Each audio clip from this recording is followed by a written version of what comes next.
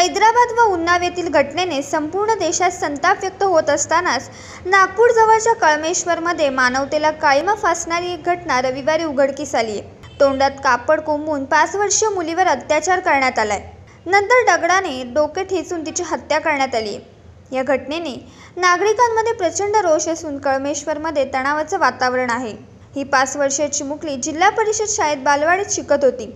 या घटनेनंतर काल रात्री नागपूर पोलीस स्टेशन समोर नागरिकांनी कॅन्डल मार्च काढला.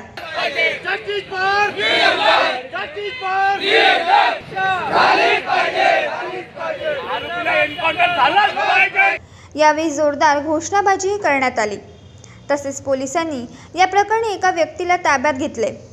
दरम्यान चार वर्षाच्या बालिकेचे अपहरण अत्याचार व निर्गुण खुनाच्या निषेधार्थ संतप्त नागरिकांनी आज सोमवारी कळमेश्वर व ब्राह्मणी येथे बंद घोषित केलाय.